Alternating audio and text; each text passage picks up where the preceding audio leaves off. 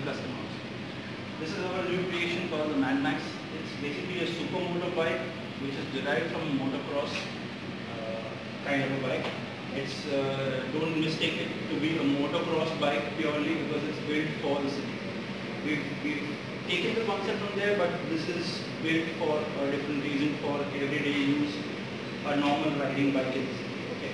So what we've done is we've used uh, normal city riding tires, uh, not the typical uh, off-roading tires for this. So coming to the technical details of this bike is we've used the 450 Husqvarna front suspension which we ordered from abroad. Uh, the TNT plate assembly was made, was customized to fit the original, uh, the neck of this Himalayan. It's, uh, of course, I'm, I'm sure by now you must have figured out that this is a Himalayan, Royal Enfield Himalayan which has been uh, customized. Uh, coming down to the wheels, the wheels have been also customized. Here in the front uh, wheel, what we've done is we use the rear original rims to bring it forward. And what we've done is we've made the spokes to fit the front up. So the whole wheel assembly has been uh, modified or whatever you can say to to uh, sit into this assembly, front assembly. The front fender is from a motocross bike.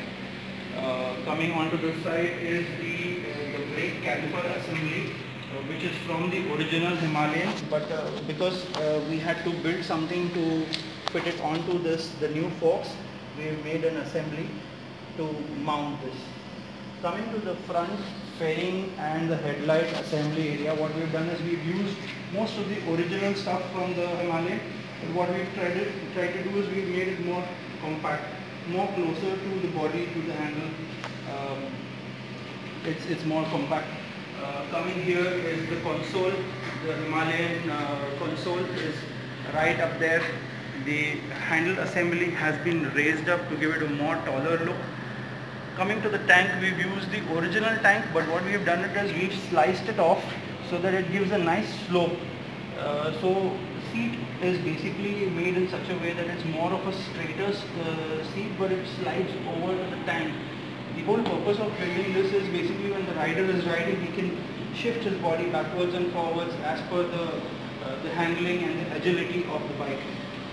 Coming to the rear end of the bike is the, the, uh, the rear assembly, that's the fender, the tail lamp assembly, the indicators, everything has been uh, made very compact. All the unnecessary stuff has been shed off.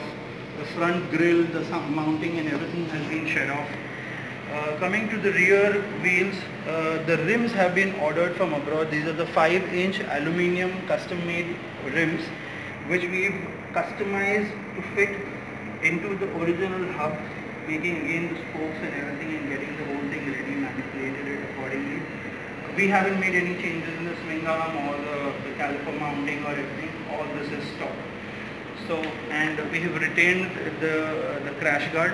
We have not made any changes on the engines basically because uh, we, are, we are more concerned about the warranty as in for Himalayan. So we've kept it as it is.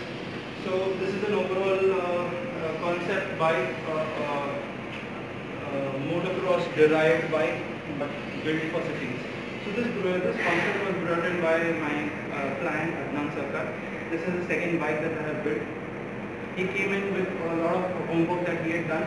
He exactly knew what he wanted to do. So he just brought in 75% of work that he had already done. The remaining 25% I had to just fine tune with technical details and everything and we just went ahead with the, the whole concept. So the, the whole idea of uh, saying these things is that uh, to, do something on, on a piece of paper and sketch and think of a project is different and build it and ride it on city roads and highways is, is totally different. So there you go, it's a, this is a supermoto Himalayan uh, Royal Enfield customized uh, built on a motorsport uh, motocross kind of bike. That's the Mad Max for you guys. I hope you enjoyed the work and uh, keep uh, keep posted on our Transfigure Custom page for more stuff.